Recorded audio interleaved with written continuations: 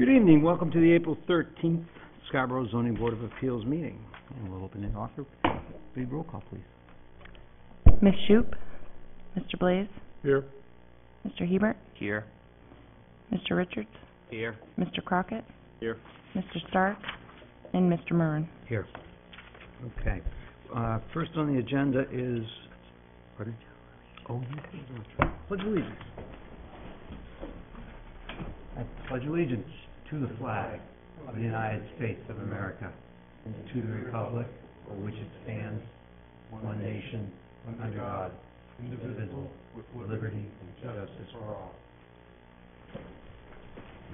And I, uh... turn my phone off here. Be- Before we start, I want to do a couple of things. Number one, I, want to welcome Mr. Lavopa. I haven't seen him in a long time. Mr. Lavopa, it's so good to see you again. Glad you're here.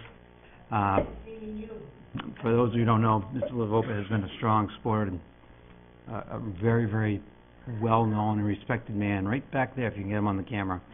And he used to come to all hon- the council meetings and was always supportive of whatever we did. So it's a pleasure to see you. And the second piece of the agenda is, uh, number twenty-five seventy-one is going to be postponed until the beginning, it'll be the first item on next month's agenda. If it goes beyond that, then we'll deal with taking it off, uh, per the new regulate, procedures. So that leaves us with appeal number twenty-five sixty-nine, which is a miscellaneous appeal. You're catching me today. I'm trying, trying to get you out early. Um, let's come back to the approval of minutes. So I have a motion on the minutes. Motion to approve as presented. Second. See, all in favor? That's unanimous, thank you. Abstain. Abstain. Uh, the, uh, miscellaneous appeal request from, uh, Christopher Klings, did I pronounce that name properly? Klingus, thank you, sir. Uh, four eleven Payne Road, Assessors Map R thirty-eight, parcel twenty-three, and I see we have represent, the head of Sedco here, uh, with them, that's impressive that you're there. If you'd like to take the microphone, explain what you'd like to do, and we'll go from there. First, state your names and address, please. Christopher Klingus, 18 Cloverleaf Lane, Scarborough. And I'm his wife, Teresa Klingus, 18 Cloverleaf Lane, Scarborough. Thank you. And what are you trying to accomplish? Uh, we are um, currently uh, running a dog daycare boarding and training facility in South Portland, um, and we are looking to move that business from South Portland to Scarborough. Um, We've been looking for quite some time to try to find a new place for our business. Um, This building has a really great um, layout for what we're trying to do, with minimal impact to the building um, and the surrounding areas. And we're just hoping to provide a really great service uh, to the community. Okay. And, uh, Sedco care to jump in at this point, or?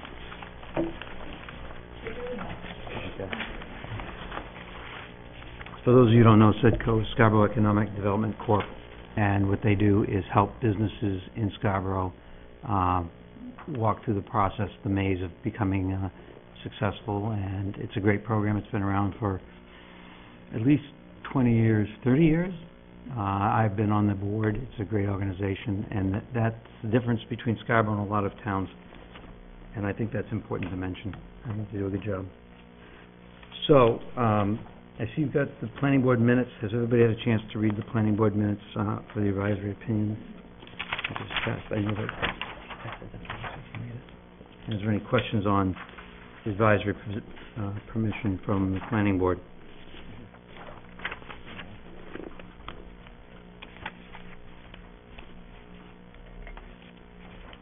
Okay, thank you. So let's go right into, uh, well, before we do that, let's open public hearing, see if anybody'd like to speak with this issue. Do we have any letters on it or phone calls? We did not. None? Would anybody like to speak to this issue? Okay, seeing none, I'll close the public hearing part. So your, your goal is to have a, a, is it a dog daycare or grooming or a combination? Combination of that, sir. Okay. Grooming, boarding, daycare, uh, and training. Do you want to read into the minutes what you've got here? If you'd like to, that might be the easiest way. The justification of variance? Yeah, the, the record is the, the tape, so the best thing to do is actually have you read in the justification, and then we'll go through each one of the items. Okay? Muddy Paws is proposing to change the current non-conforming use to a new non-conforming use in the B2 zone at 411 Payne Road in Scarborough. Our proposal is to convert this space into a premium dog daycare, boarding, grooming, and training facility. The proposal calls for considerable change inside the building It is largely a clear space, but very little to none to the outside. The only visual change to the footprint would be on Mussey Road, garage side, where we propose to add brick-type solid wall to contain the area immediately outside the garages. We intend for that to be the outdoor portion of our indoor-outdoor yards. The outdoor space will likely only comprise twelve thousand to sixteen, sorry, twelve hundred to sixteen hundred square feet. Pictures have been provided to show, um, the approximate footprint and the look in which is in line with the overall look of the building. That one right there is the footprint that we're talking about. Could you put that back and up, would please? be brick wall. Which one? The first one, right there. Um, I'm trying to place. Is it, so the X's, is that what you're talking about? yes, so that space there would be the Okay, general size that we're looking for. great, I'm sorry to interrupt, go ahead. Um, responding to appeals from restrictions on nonconforming uses. Um, from section three F one, uh, section A, our assertion is that our operation is much less impactful to the en- uh, environment and the neighborhood. There will be considerably less traffic to the facility and none during non-business hours of seven PM to six AM. We are not making major changes to the building's footprint. We have far fewer employees and intend to beautify the lot with premier landscape and an upscale look and feel to the property and building. Okay, let's stop there for a second. So this is a miscellaneous appeal, which falls under, uh, the section four, um, my category here, special exceptions, correct? You have, yeah, the criteria is the special exception criteria listed under, uh, section four I. Thank you, so it's four I. And then we also need to look at the definitions and requirements for, uh, dog daycares, which I believe is defined, you know what that is? The definition of that? There's- Oh, the definition Yeah, is in section six. is it listed as animal or dog?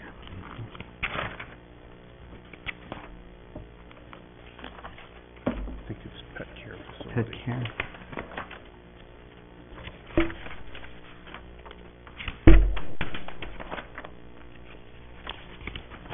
Pet care facility. So just for the record, uh, in 2002, uh, 9-4, an establishment that provides fully enclosed facilities for training, kenneling, grooming of pets. So that's the definition, and that might bring a little bit of an issue regarding the open area. I just want to make everybody aware that that language is in there, and that's that definition.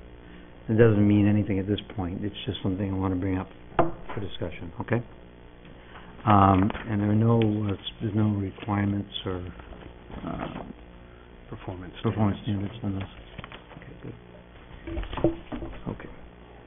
So what I'll do, if you'd like, is I'm gonna read in the, the, uh, the question, okay? And if you can answer it as you've got it written, or if you want to elaborate, feel free.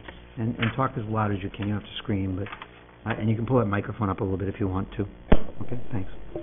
So the, the proposed use will not create unsanitary or unhealthful conditions by reason of sewage and disposal, emissions to the air or water, or other aspects of its design or operation. Currently, the space is home to AAA, where they run a, um, I have since learned that it's not twenty-four hours, but seven AM to eleven, maybe one, two o'clock in the morning. Um, dispatch center, there's a constant flow of traffic, including cars, company, pickups, tow trucks. Um, further information from the gentleman who ran the operation, uh, at the AAA in building, um, explained to me they have thirty-five employees, um, with an additional thirty pieces of equipment and three shifts. At any time passing by the space, and I should also mention that at this point, the, the, the space is vacant, but at the time of this writing, AAA was there. Um, anytime passing by the space, there are a large amount of cars parked randomly about the property, including the non-paved, what used to be grass area. AAA also services and washes their vehicles inside the facility, and as expected, there is oil and engine-type fluids that make contact with the ground and drainage. Um, our use is much less environmentally impact, impactful as we are not constantly generation, um, generating emissions to pollute the air, and we don't use harmful chemical, chemicals as we're handling live animals. Our cleaning procedures are such that all waste is removed immediately and the areas are cleaned. Solid waste is bagged and removed by private sanitation companies weekly, and liquid waste is washed into a drainage system that leads to a previously installed cistern, which filters out contaminants and is pumped on a determined schedule. Okay, great. The next item is,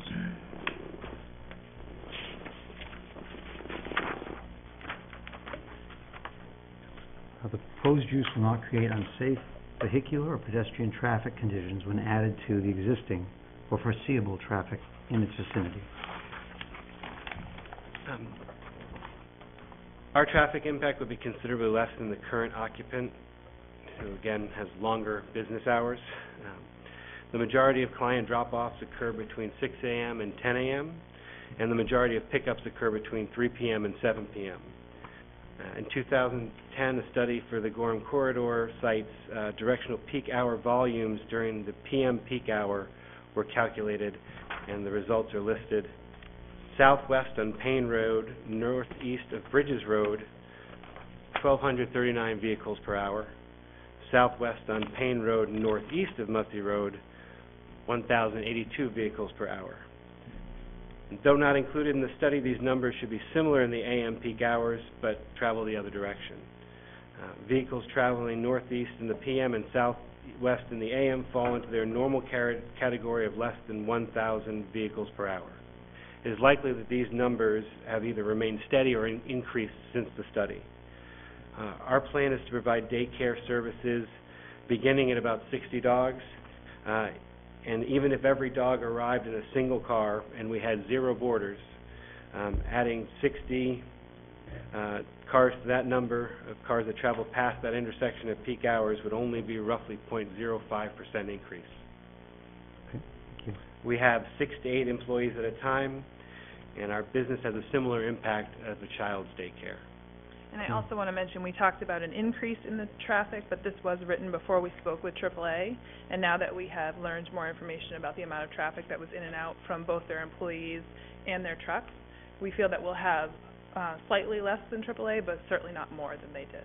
Okay, thank you. Wh- When you, What I was referring to on- on the less was the impact to the existing traffic that's already there. Good, okay. And the proposed use will not create public safety problems which would be substantially different from those created by existing uses in the neighborhood or require a substantially greater degree of fire, uh, municipal fire or police protection than existing uses in the neighborhood. We will not. Perfect answer. Some of them, are- some of them kind of trick questions. Uh, the proposed use will not result in sedimentation or erosion or have an adverse effect on the water supplies. Proposed use will not. Would you do me a favor and elaborate on that regarding, uh, the dog, uh, dog, um, feces and urine and how that's Sure. handled? Um, Our design, though currently um, not fully developed, but our plan at this point is to do, like I said, the indoor-outdoor yards. That's completely covered by an artificial turf or canine grass product um, that is uh, antibacterial in nature. Uh, It has drainage underneath it um, that filters into the cistern as we discussed. And solid waste is immediately picked up, bagged, garbage, brought out to a dumpster, which is uh, picked up by a sanitation company, sorry. Um, And the uh, liquid waste would be washed into that, uh, cleaned with the product, and then washed into the drainage system. In the drainage system, you mean the general drainage system, the, the, the s- sanitary districts? The cistern, there's a cistern uh, situ, uh, installed cistern, which my understanding of it is that it filters out harmful chemicals, harmful things to the water supply, and then it will keep them, and it needs to be pumped out at a, similar to a septic. Is that the, the Vortec, Vortechnic system, do you know? Fortunately, the, the, the property owner does not know much about the building, and this is the information that we're getting from um, the AAA people. Okay. Hi, Karen Martin with the Scarborough Economic Development Corporation. Um, uh, one of the things that we did talk with, we did talk to the uh, Scarborough Sanitary District, and they were, um, clear that they, they didn't want the waste going into the regular district, and they felt comfortable, and Brian, correct me if I'm wrong, I believe they felt comfortable with the, um, the cistern piece, where it does get pumped out, but I'm not sure if it was the Vortechnics uh, model or, model or not. Okay, that, is it that kind of philosophy? If you don't know, that's okay, I was just I- curious. But this is I'm something gonna that's, get al- myself in trouble. this is something that's already there at the building now. Yes, And it, sir. and it met the requirements of an automobile. It's probably on the, on, on the order of a sand filter that would filter out chemical and petroleum type residues from the vehicle repair. A wash bays. Currently wash down into drains. Yeah. So they are, whatever is Yeah, existing there has okay. been containing the chemicals and it has been in compliance. Okay. Great, thank you. Uh, the, pr- let's see, proposed use will not uh, result in sedimentation or erosion, we've done, uh, then we have, proposed use will, uh, result in sedimentation or erosion or have an adverse effect on the water That, supply. that was the one you It's were been just on. answered, thank you. Proposed use will be compatible with existing uses in the neighborhood with respect to physical size, visual impact, intensity of use, proximity to other structures, and density of development. The professional look that we were aiming for comes coinciding with uh, matching the exterior look and feel of the office portion of the building, um, combined with the focus on beautiful landscaping, removal of the junkyard type feel that it has, uh, will be much more in line with the neighboring structures. And the use of the dog, as a dog daycare will be a valuable service to the area. Okay, and, uh, do people typically come in at like seven in the morning and pick them up at five at night like a daycare, like a regular child daycare, or do they leave them over the weekend, or? We have about twenty-five percent of our occupancy, occupancy is typically boarding dogs, which does not generate additional traffic. Okay, thank you. Uh, and, um, did the planning board specify the, the, the uh, features for the, the look, the, the plantings and everything? or is No, that- sir, that's uh, uh, our, our design. Okay. Um, let's see, I'm sorry, I jumped. And, uh, you have the, uh, uh, located, you're not in the shoreline zone, and you have a sufficient right, interest or title, have you got a, uh, contract or been working with, You should have a copy of our signed letter of, auth- of intent, and we are this close to our lease signing, kinda tonight is big part of it. the applicant, you've had the technical and financial ability to meet the standards of section, of this section, and if we come up with any other things that we might need to add, you okay with that? I don't really know what that means, we just always say it. Okay. Um, I never took used it to mean that, uh, that I know what I'm doing in building this business. Um, They- I I started from the ground up in South Portland. I feel like I have the technical ability uh, in building uh, my current business from the ground up. The general contact for, contractor for our initial build-out, and have been been maintaining the building ever since. And financially, uh, even though there's no commercial pre-approval, but we, we have pretty solid financing for this That's, project. I guess that's as good as we can get with any of that answer. Uh, the, uh, proposed use will be compatible with existing uses in the neighborhood with respect to generation of noise and hours of operation? Our use will be compatible with the existing uses in the neighborhood. There is no doubt that dogs at play will bark, but we, what we do not permit is incessant barking. Our outdoor play space is such a small percentage of our overall yard space, most sound will be captured indoors. Furthermore, we plan to mitigate sound. The outdoor play space will have higher walls to capture the sound, and we're working with a company called Acoustiblok to incorporate their AcoustiFence product into our facility. This product boasts an 85% reduction in sound abatement to the human ear. Our hours of operation are 6 a.m. to 7 p.m. Monday through Friday, and uh, 8 to 5 Saturdays and Sunday, far fewer than the larger portion, 7 to 11 or 1 or 2 o'clock in the morning that was previously there. And I'm, I'm familiar with Acoustiblok, and it, I, because that's in here, are you planning on using that, or are you just looking at it We were planning to do as much sound abatement as possible with that product or similar With product? that product or similar, there's several, everything is up in the air right now. Well, Not up in the air, but everything is, we're planning, so we've got a lot of flexibility. What we want Very to good. do, but All right, it's definitely in the plans. so let me open up to the, au- the board for questions and, uh, comments.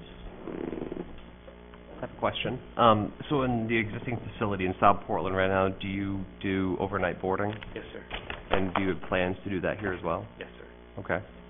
Um, then, uh, I guess the only comment that I have is in section I, as you say, you're, you're planning to have the, um, I guess the acoustical mitigation, just to sort of make sure that everything kind of remains quiet, even though that is mostly an industrial area, so that's, uh, I guess it's good to hear. Mr. Blaze?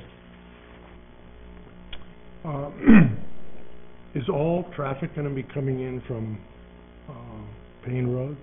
Or will traffic be coming in from Mussey Road also? Again, um, we are kind of open on that topic. If there's something that, uh, the board would recommend, we're happy to look at it. Uh, currently, the plan would be to access the building from the front on Payne Road, um, because of the, the look and feel of it. Uh, we would plan to have employee parking on the Mussey Road side, and there is no, currently, there is no, um, pass-through of the parking areas from the back of the building, from Mussey Road side to the Payne Road side. I think that's by design so that people don't cut through. Um, but at this point, we are planning on using Payne Road as the primary entrance. Uh, One other question, you said you were gonna be doing training. What, training classes, or are you gonna be training dogs yourself? Well, other we people? would likely be doing both training classes and um, daycare training, which is something we do typically every day. We reinforce positive behaviors, discourage negative ones uh, in the daycare setting. Uh, if you have classes, they have to be during the day then? Didn't, uh, From a operational standpoint, or, We've hosted classes in the past, and it's been a very small part of our business. Um, I think maybe twice a year, we've hosted an eight-week class, where once a week at seven PM, we have about, um, five to ten dogs come for a class for an hour, and then they leave. So it has not been a large portion of our business from a financial or from a, uh, operational standpoint whatsoever. Now, I'm not sure we're gonna continue that immediately when we open in Scarborough, because it's not our core business but that's why it's in here, because we may have occasional training classes. Okay, so your hours of operation are not really six in the morning till seven at night. They could be for more. Maybe eight to sixteen days per year, they may be an extra hour, yeah. Okay, thank you. Yeah. I, I would mention, sir, that one of the issues that we had with our training program is due to our current facility, it was not possible for us to begin a training session until after we were closed for daycare business. If we were to do a training space in here, those classes could be during business hours. You can't do it in here. It's a really great space, though, it could be great. I know the record is with the tape, but no, you can't do. Um, tied to that, uh, to Mr. Blaze's comment, to me, it seems like you're open twenty-four hours a day, not that I have a problem with that. But if you have dogs in there, it's- Customer ac- access, I guess, is what I'm referring to. okay. I just wanted to clarify that because you do have, I'm assuming you have somebody there at night. Um, currently, we don't. Um, it's surprising, um, from when I first started investigating this business, uh, primarily, not a lot of people have people overnight. Uh, in investigating, learning more about it, there's a very good reason why you don't. Um, dogs that play for twelve to thirteen hours, even with significant break times during the day, uh, are very tired at night.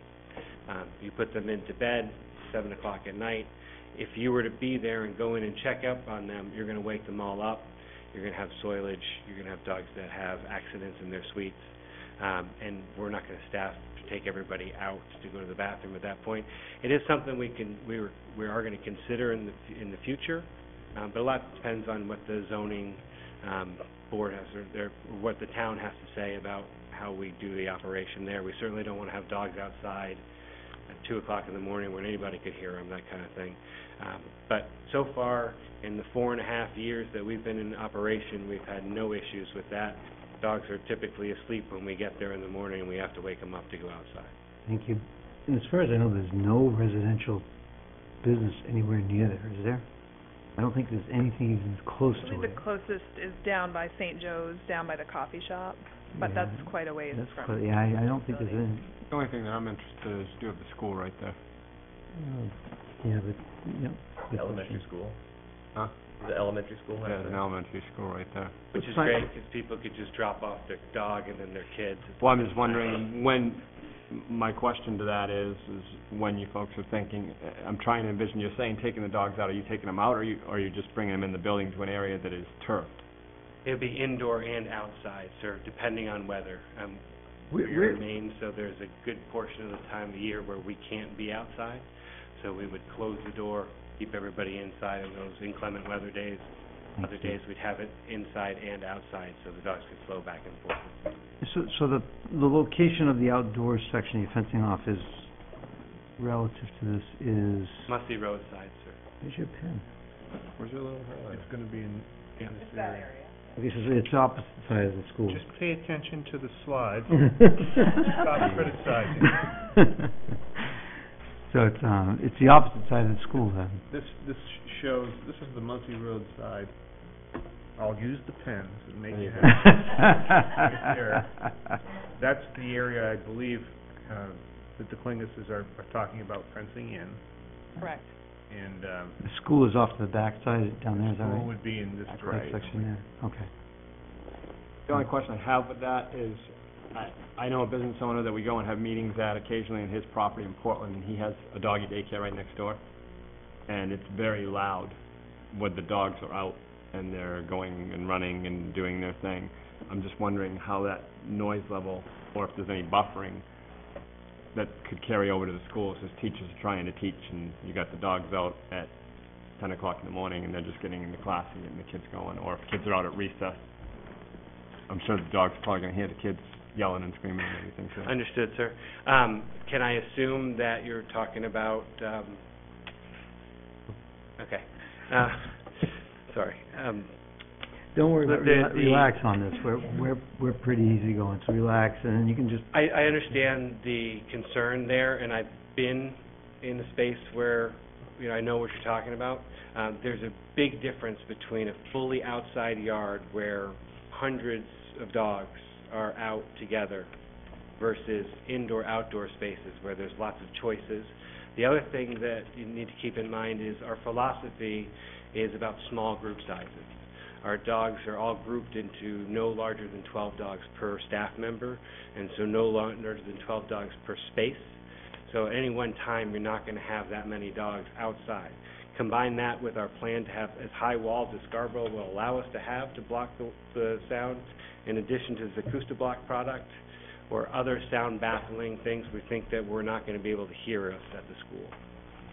And I'm it is, hope- if you travel the property, it is a bit away. It seems kind of right next to Yeah, it, it is a drive. bit It is, away. yeah, there's, um, two large office buildings with property around them before you get to the school on Mussey, between our play yards and the school.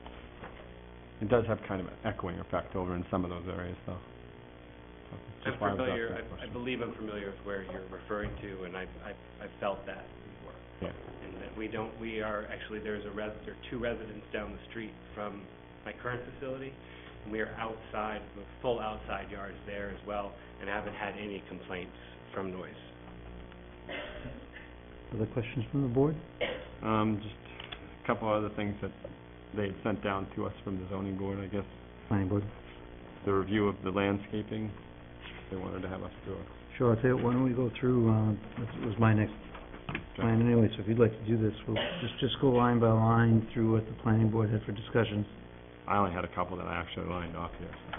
Uh, Well, I'll tell you what I'll do, I'd like to put in to record what the planning board, uh, advisory opinion had, and I'd like to address each one of those as to whether or not we concur or feel that that's not necessary. We cannot go against the planning board's position unless we find right cause, but we can abbreviate what, yes has a wide range of options. So if we decide that we want to do any other changes, this doesn't bind us to changes. The challenge would be if they said, yeah, we look, this looks good, uh, we need to have a legitimate reason per code to not allow it, okay? So just so you understand the flexibilities we, we do have, which are quite a bit. So it says, uh, Mr. Mr. Chase informed the board that the applicant is before the board for an advisory opinion. Um, Mr. Saunders asked, I'm just skipping as we go through here, about what the location appealed to the applicants. Um, Karen Martin representing Sed- Sedco, about the location for the high visibility. Uh, you had explained that they create more home-like environment, not feel so individual. Uh, they'll be adding some landscaping to, uh, upgrade the site. I think we need to discuss that, just, I'm gonna set that off to the side. Um, uh, Ms. Saunders asked, uh, what their plan was for waste management. I think that question's been answered. Does everybody feel comfortable with the waste management discussion on this? Well, the only thing I had is just like, it's saying that it's gonna be disposed of in a dumpsters, that, that's when emptied weekly, I mean, what type of dumpsters are going in? It probably has air fresh, so you're not just tossing it all in there, right? Uh, we have, currently, we have a dumpster. I don't know of many other different types of dumpsters, but if there are others that we could investigate, I'm all for it. It's not, Can you bag it? You bag currently, it anyway. currently what bag you're doing is is not tied. permitting an odor the way you're disposing of it. No, sir. We, we bag the, we have trash cans that, waste goes into the trash cans, the trash cans get bagged and then rebagged and then put into the dumpster. Um, it's, weekly is where we are right now, depending on the amount of dogs that we have, we will happily increase that pickup. Obviously, it's not something we want to smell either. So everybody, you comfortable with that? Just as I want to go through, as we can eliminate what we can. So we're okay with that. Uh, Ms. Igles asked if there would be a whole, if we would be using, you'd be using the whole site, and you said that you might entertain at some point to sublet to a dog trainer. I've also heard you may train yourself. Um, That, that option is no longer on the table. We're going to, um, uh, occupy the entire facility. I, I- I would suggest that you don't put that restriction on yourself. Okay. Uh, it, it just limit, you have to come back. It's not fun one time, so, yeah, I wouldn't, there's no Okay. reason to, unless the board here It's feels like it should possible in be. the future. Um, Mr. Mason asked, uh, the entrance from Mussey Road would be the, would be used, the question, uh, exclaimed that, uh, would be using the employee entrance. Uh, Mr. Mazer asked if there were any residential homes nearby that might be affected by the dog's barking, and we've discussed that. Everybody fine with the noise and, the- just so you know, that technology that they're talking about is absolutely amazing. Um, it's new, it's relatively new product. Um, I actually use it in my boat. Um, I have a boat and, um, I have two jet engines in it, and they're pretty loud. And what, it drove me nuts, so what I did is, I use this material, it's literally no thicker than that, and it goes on there, it literally absorbs sound like you wouldn't believe, it's an amazing product. Uh, and it does work. It's usually used in, if, uh, it's usually used in the musician, mus- musical industry, uh, as, as our drummer here, no, Joe, guitarist knows. Um, so it's, it's typically, you'll find it in, uh, audio studios, uh, as opposed to the, the old, uh, egg crate kind of material. It's all, it's very thin, and it's usually got silver linear on it. I don't know if this one does or not, but There are several different products the company offers. And it's very expensive. It's very pricey. We're aware. We just kinda jumped over the review of landscaping. I, I, I said to set that on the table. We'll, we'll bring that back. Okay. I figured we'd, uh, thank you, but, uh, uh, let's see. So we're okay with the, the noise. Is that correct? And, and that they're using the appropriate materials. And, uh, okay, Mr. Wood asked, uh, proposed play would trigger a, uh, site plan amendment. To the question, Mr. Chase sta- stated that it was not significant level of change, so it would not. Mr. Wood questioned if the traffic analysis was done, and it was it staff's opinion, and it would have no, uh, no more or less impact. To the question, Mr. Chase stated that the staff was unclear on the traffic patterns and intensity, and that the applicant should provide more information to the ZBA. Um, Mr. Chase stated that one of the the, one of the review criteria the applicant must answer for the ZBA its proposed use will not create unsafe vehicular or pedestrian traffic conditions when added to existing foreseeable traffic in the vicinity. So, um, when you went to the planning board, did you discuss the, uh, two thousand ten numbers? No, sir, that Mhm. was not, a bit- that was not part of our initial justification. So that was addition, so that was additional, and you said that about twenty-five percent of the dogs are overnight? Yes, And sir. about seventy-five percent are, and, uh, people bring them in, is it typically work hours, they come in So we, um, I did a short study, um, from April, February first through April eighth, um, and took an by-hour check-in and check-out. Um, and the highest, um, period of time, the most busy time for drop-offs is between eight AM and nine AM. We average about thirteen to fifteen dogs during that hour. Uh, and, uh, check-out, five to six PM, we're averaging close to twenty dogs on a checkout basis at that time. Um, And, and- and is it the same volume of dog, this location, I'm assuming is gonna have more dogs in it, is that it's, true? it's a at, at, at this point, it's a similar, Similar, and we're gonna allow for growth in the future. uh, th- that's a legitimate question from, uh, I think it was Mr. um, Mr. Wood that asked that. Mr. Wood, uh, does the, we'll be coming to those discussions further, but let's set that off to the side also, and we'll discuss that a little bit more. Mr. Bacon also added, uh, uh, that the chance for, for the change of use, commercial use, could trigger the Payne Road impact fees. The ZBA finds the traffic is increased. Mr. Bacon stated that that should be examined by the ZBA. Let's set that off to the side and we'll come back to it. Mr. Wood also asked the applicant, uh, what is proposed for signage, the question. Uh, the, uh, I wanna make sure I get this right, Klingid? Plingus. Cleaners, sorry, responded there uh, is an existing sign structure they could utilize, but they're open to suggestions. Mr. Wood stated that this is a uh, good opportunity to improve the signage at that location. We currently have new sign standards, and uh, if the board is comfortable with that, I'd suggest that that just be worked through with the- with ZBA, with the uh, code enforcement officer, meeting the standard requirements. Does, does the existing sign, uh, follow the current standards? My understanding is no. I, I don't know that, I haven't examined that. We would be very interested in keeping the existing structure. The sign itself? Yeah. Okay. So I, I guess the question then comes, is it part of the uh, current sign standards? I don't know that answer. It's a great question. And whether or not we want to, the, the planning board mentioned it, one member of the planning board mentioned it, and we can discuss that. So again, let's set that off to the side, uh, and get it when it comes through the right items that we're going through. But I think it's important to discuss. Um, Mr. Fellows asked, uh, that the peak hours of business are. Those answers have been, uh, answered. Anybody have any concerns with the hours?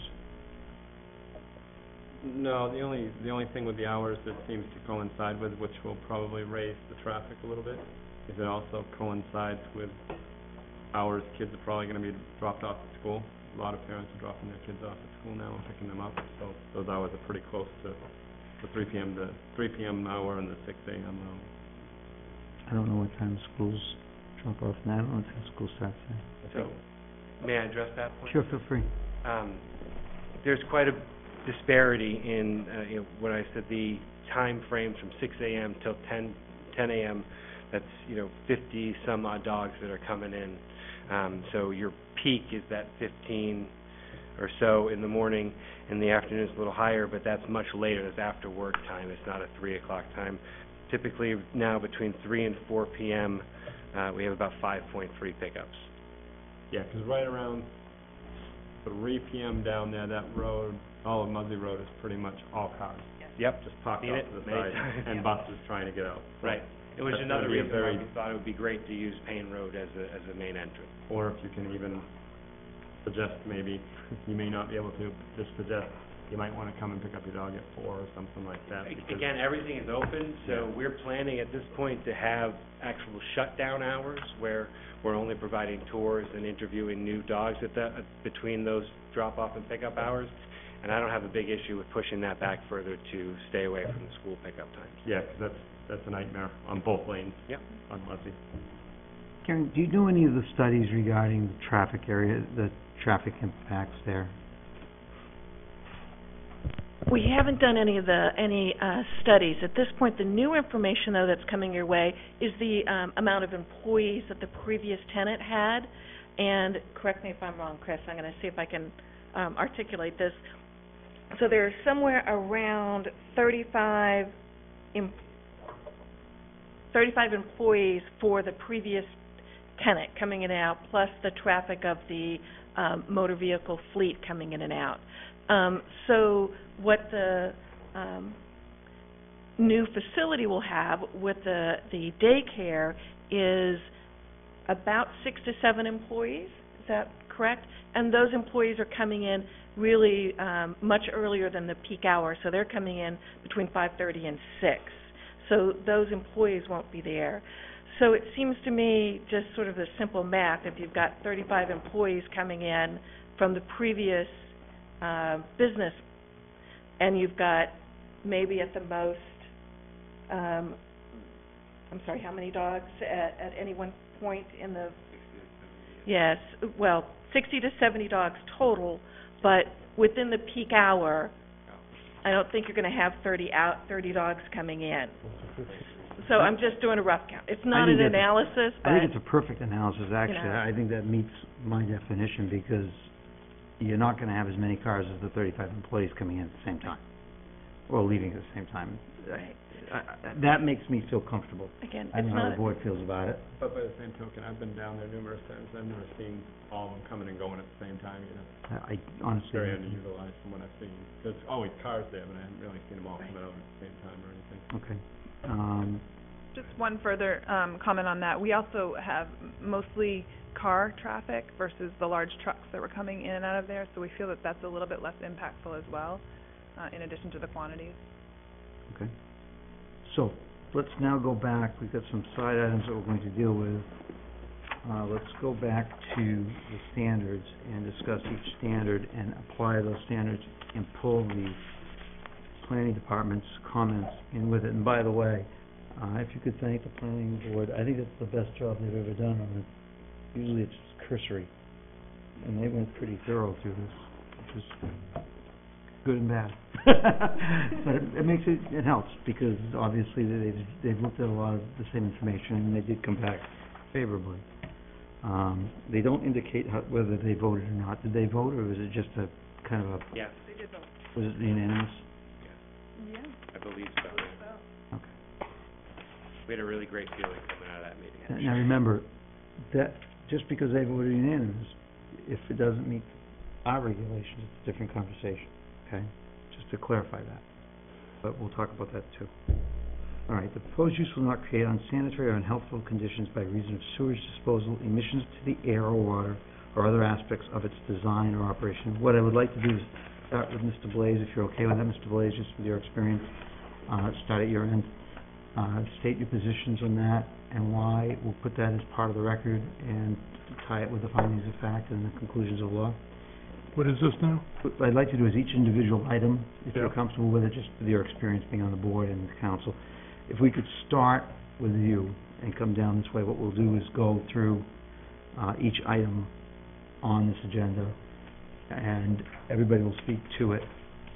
We'll use that as findings of fact, and then finalize with the, um, conclusions of law. So, the, uh, question is, the proposed use will not create unsanitary or unhealthful conditions by reasons of sewage disposal, emissions to the air or water, or other aspects of its design or operation. How do you feel about those I items? agree. You agree? Yeah. Okay, anything that cur- worries you at all about it, or you feel comfortable with the No. answers? I feel comfortable with that.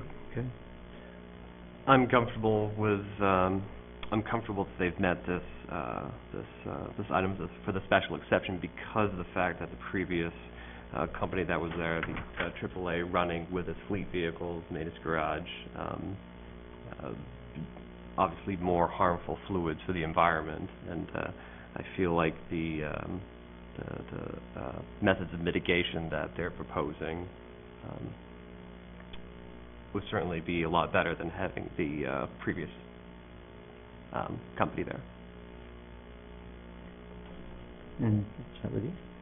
Have you focused on any, I, I don't know if there's been any tests or anything on the existing system, I- what did you call it, that's being used? Sister, Have you done any tests or found out from the previous occupants, like if that's got a useful life, or if it's, my, from my understanding from Mr. Jetty is that it, it does have a useful life, um, that the frequency of, um, removals or pumping will have to be monitored and figured out with our use compared to theirs.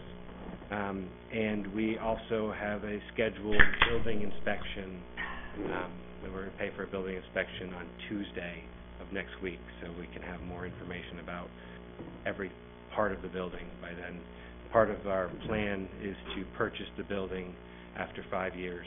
Um, part of their plan is to sell the building after five years, so our intent is to do this and purchase the facility as well, Now, is that a piece of leased equipment, or is that part of the building? part of the building. You might be able to get a service contract or something like that going on whatever they recommend would be the monthly basis, the semi-annual basis, where it's just thorough gone through. Yes, sir. It's probably one of three things, the same things that we have at town, those round cement containers where the drains come in, that goes, because that goes right into the ocean. It doesn't go through our- our sanitary system. It could be a vortex system, which is nothing more than a giant ring that goes around, which does, separates the wastes and the waters. And the third version that I know of is sort of like a brittle water filter, which kind of allows the water to drain through slowly. I happen to have all three on my property, so I tend to know that. Uh, and, and they do work, uh, I guess. Well, my major concern was just when the previous tenants probably using it a little bit more and masking it out sometimes, if they were doing cleaning of It actually of doesn't the move. vehicles and things. It's more like a septic tank. It doesn't do anything. Right, but I'm just, I'm, I'm just saying the type of Yep. things that were being run through there are gonna be much different, so I just wanna make Sure. sure it's got a useful life left and they're not walking into something that could be failing on them fairly soon. And you are having a building inspection, which is good. Okay. Now that, uh, sorry. Uh, I'm comfortable. I'm assuming Mr. Longstaff, is that what Mr. Progress talks about, is falls under juris- jurisdiction where the, they seem like they've done a job and contacted the sanitary district and does the, does the code office actually look at that? Um, we wouldn't specifically look at that unless, unless it was part of construction that they were installing. If it's already in the building, Nice. it would, it would just be part of the, the, the real property that's there. Um, I, I would know very little about the system they're talking about. I don't know, I've never seen it, I know nothing about it. Um, I expect that it's, as I say, it's either a sand filter type system in the removal of the contaminants, the, the medium is also removed, or it's a filtration system where the, the product passes through a medium and then that's removed. I'm not sure which that is. Those are the two types of systems I'm familiar with. I don't, I have no knowledge of what's in that building. Thank you. Okay. Anything else you'd like to add? A couple of things on this. This is an important one because this ties to a lot of the questions that the planning board asked us to address. So let's start off with, uh, I want to break it into pieces. Uh, unsafe, um, unsanitary, unhealthful conditions by reason of sewage disposal. I consider this unit that we're talking about, the sewage disposal.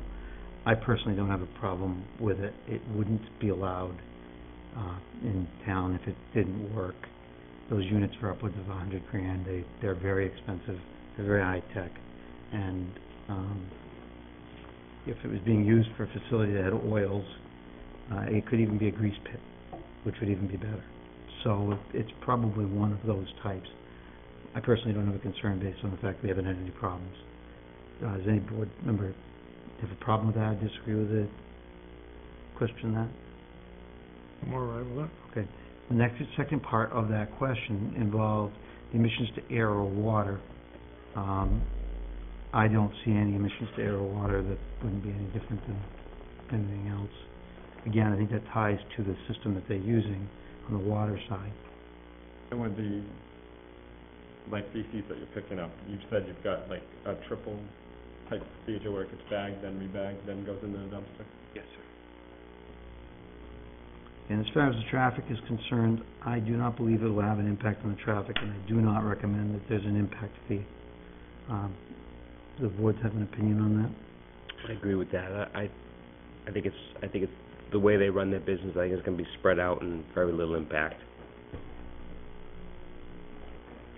It's tough, tough to say with that intersection, because at certain times of the day, it's pretty busy, like three to five-ish. It can get pretty busy down there. I, I don't know, I don't know if it will or not. Either of you have comments on that? I kind of think that they should be using the Mussey Road entrance a little bit more. Which entrance were you planning on using? At this Payne- point, it's uh, Payne Road. Payne Road side, sir. The Payne Road side? Problem being is I think you're gonna have some problems with people if they're coming this way as opposed to people that are coming up the road from Scarborough Downs area. They're gonna be able to turn in pretty easily. So you're gonna have All both, en- along there, there's really not a lot of turnoff. So, um, if I might Or address light. that for a moment. Um, again, we're open to a lot of different options. Some things that I had thought about, um, our current facility is pretty hidden. People that live in South Portland have no idea that that section of town even exists until they see our business card and has our map on the back. Um, we would be happy to do something like that as well as, uh, part of what we're doing is pretty instructive to our new clients, um, how we're gonna be handling our daycare. Um, we're gonna have to educate them on a bunch of different items. Um, so how they enter and exit is not a big problem for me to continue to do. I have thoughts of, you know, if you come in from either Mussey or Scarborough downside of Payne Road, you can make that right-hand turn onto Payne easier and come right in, and perhaps we would be forcing people to make right turns out of Payne Road as well, and then they can loop back around if they want to. Are, are your clients coming from mostly, are you looking to be mostly Scarborough clients or South Portland clients coming over as well? You know, we're hopeful that, um, some people will follow us and, you know, um, but we're definitely. not gonna be there? I'm sorry? No, the other location is going away, sir. Um, we're hoping that, um, we'll, we'll maintain the kind of customers that I would like to have, people that will drive past three other daycares to come to us because they believe that we're the best at what we do, um, versus, um, geographic ones, but well, anybody with sweets. Um, the goal is to increase our presence in Scarborough. I think it's a good suggestion to have them come down Mussey if they're coming from South Portland. Otherwise, they're coming through all those lights. I, I, it's coming from that facility every day. I drive right by this building twice a day. I know exactly what you're talking about, that left on, excuse me, that left onto Payne Road. Um, and there's really no other way that you would go from that side. The majority of our clientele is on that and is not northern South Portland, northern. Nearest the highway, it's more Mussey Road side or Yeah, so it might be good to have. I mean, people are pretty creative, I think. They'll figure out whatever way they can get in the easiest. So it- I think it'll take care of itself just by, by normal traffic flow. It doesn't take long for somebody to Well, figure out. just as long as they provide Both parking. entrances, yeah. Yeah. Now, I- I'm assuming that the normal drop-off is about two or three minutes, Typically, yes, sir. So the car is not gonna be there very long. No. I think So- it would impact it more on the, on the Payne Road side. Okay. It's already been put down there that you can't get in sometimes. So, uh, j- coming back to the question of, I, I think we've all addressed the, the, the general's question, but I think we're coming back to the question of whether or not there should be an impact fee regarding that. Because uh, we've all kind of talked about A being okay. So the question then becomes impact fee, just to answer the question from the planning board. I personally, again, I think the car count is, is not going to be that much if, I, I don't, The building is there already, it's been there, it's already been assessed a fee. This isn't a change in use, is not expanding the footprint, we're not doing anything. It's got X number of parking spots already. I just don't believe there should be a- another fee uh, added to it, but, um, at the, at the, the will of the board on that question. I agree with you. I don't, I, I can't see anything in here that would, uh, lead me to believe that there should be an impact fee. In fact, if, if anything, this is, it's gonna be less traffic than there was before. Um, I, I agree. I don't think we're going to be solving the traffic issues of Payne Road and Mussey Road. I think that's a whole separate discussion for another board at some point to determine how to mitigate the traffic in general on there. And because this is a smaller operation than the previous, uh, uh, than the previous business that was there, I don't think it's going to impact it in a negative way. People will figure out how to- how to get in. Mr. Longstaff, do you have any idea what they were getting at with that and sending that down to us to? I think part of what they're, part of what they're getting at is that, um, actually contrary to what Chairman Maroon said, the existing use probably did not, never assessed any impact fees That was because they were that. already there. Um, when there is a change in, of use or a change of occupancy and, um, and, you know, obviously the, this, is a, a sideways change, that's why it's a miscellaneous appeal. There is an opportunity, if that new use would generate more traffic than the old use, there's an opportunity to collect some impact fees. It may be hundreds of dollars, it may be thousands of dollars, it all depends on the traffic engineering report study that's done as a part of that, that analysis. Without knowing, without having the analysis done, you have no idea, quite frankly, what the impact is. No. So, I'm, I'm a little surprised to hear anyone say, we don't think it's gonna be any impact, because you don't know. There may be no impact, but nobody knows until that analysis is done, and the analysis has not been done. Does the, an- does the analysis even get done? I it, it only gets done if you recommend that it be done. And I guess my argument is, I can't imagine enough of an impact. That impact fee test is gonna cost two thousand dollars. No, What's it cost these days? you don't know that. I, I did one. I did one a No, few I- years ago, I do know it. No, I don't- that, that won't, it won't be that much money, but it's up to you guys to decide whether or not you feel there's an impact. I'm just trying to explain, that's why that was raised. There's an opportunity to have that analysis done to determine if there's any impact, and then you know for sure, and the, the fee is based on the car counts that come out of that, that impact. There's some kind of a formula which I know nothing about. I can give you my book. I believe the other reason that it was brought up is because at the time, we didn't have that 2010 study, so we weren't able to do a comparison of how many cars in relation to our business. Hmm. And so they were asking those questions, which is why we provided that information for this meeting, to give more Mhm. information on that. To We me, also it's didn't odd, have the AAA information at that time either. Right. So, you know, generate. to me, it's odd that it's even here as a question, because it's typically done by the planning board. But I can tell you, seriously, I did one. It's expensive. And I don't see enough of a reason to do that. That's just my opinion. Uh, again, more than willing to hear other arguments, but it'll delay them a couple of months. And then let's go back to the planning board, because we don't have the authority to put the fee on. And I don't see a reason, and maybe that's wrong. It, based on it wasn't my town. impression that it was a couple of months, uh, uh, but, That depends. again, I use. you apparently know, know more about it than I do, so I'll I paid defer to for you. it. It's funny when you pay for it, what you remember. Um, so it's just, to me, it's a sort, I honestly don't think it's needed, because it's just a lot of work. Well, my point of view on it is that we have an opportunity to help or find some information out about what could be done differently down there. It is kind of a cluster at times down there, and I think that may be where they're coming from, is to try to figure out the, the traffic that was there. Every time I drove by, I never saw a vehicle drive out of there. This is gonna be more of a service industry. This was more where AAA kind of kept their trucks and they would occasionally go out, and you weren't sending like two or three or five out at a time. You may be sending one out at a time, from what I saw, from my previous experiences driving by. Maybe I'm wrong, I don't know. I don't know. But I, I just think it's an opportunity to try to help that traffic pattern down there, which at times can be pretty significant. You can sit on Mussey Road for upwards of ten minutes trying to get out onto Payne Road, and that's right about where they're, where they're gonna be, and you're gonna be adding more traffic to that.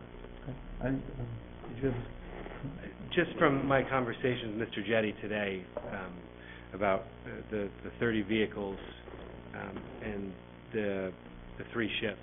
So they would go out at seven o'clock in the morning, they'd come back at one point, change drivers, they go back out again, they come back in, change drivers, they go back out, and come back in. So I- I believe that, um, there's more traffic going in there. By, by that count, and, and adding the employees that are coming and going, uh, you have approximately two hundred and fifty visits to that facility last month, per day. so the question on the table, I guess, on this specific item is, do we want, the only way we're gonna know whether or not there needs to be an impact fee is by a, a traffic study. And I think the question is, do we want to have them do a traffic study, or do we not? Or do we want to assess a fee that's arbitrary, or do we not? And I'm open to whatever, if there's a third option, I'll You hear that. can't, you can't assess a fee. Right. You don't have, you, you can't do that. That- That's good. Your first, the first part of your statement was correct. That's, that's the That's all we, decision. the decision, do we want to have a, personally, I don't. I, I, I- I realize there's a problem down there. I use that Mussey Road all the time, and I just don't think this business is the one to pinpoint and, and put that on. I just don't see the, I just don't see a huge change in what they do spread out over a seven to ten window of X amount of dogs. They twenty-five percent of boarding dogs, so those aren't gonna be day in and day out. Those are people going on vacation, leaving for a week, most likely coming back on a Saturday or Sunday, picking their dog up when they return from their vacation. I just don't think this is, now, if somebody says it's gonna be, you know, Palace Playland, Jokers, you know, we're just gonna, hundreds of kids running around in there, I'd say, yes, this is perfect example to do a traffic study and maybe impose some sort of impact fee, but I just don't think this is the business for it. My, my, my opinion is no. I agree with Mr. Richard on this one. Uh, I don't think this is the, um, the time to have this study at this point with this particular case. I agree. I mean, with, the- with the numbers that were thrown out earlier of, what, twelve hundred, eleven hundred, twelve hundred vehicles per hour, and, I mean, even if everybody came in, dropped their, their dogs off at the same time and picked them up at the same time, it still wouldn't have any impact based upon those numbers. So I, So you've dealt with the traffic generation, if you wanna move to the lighting, signage, and landscaping, you can So that's, the next piece is the lighting signage. Um, did you have a chance while you were doing, or while you were doing everything else, to look at the standards for signage? I don't know if that's standard or not. Um, again, I, my suggestion is we deal with non-conforming signs, existing non-conforming signs all the time.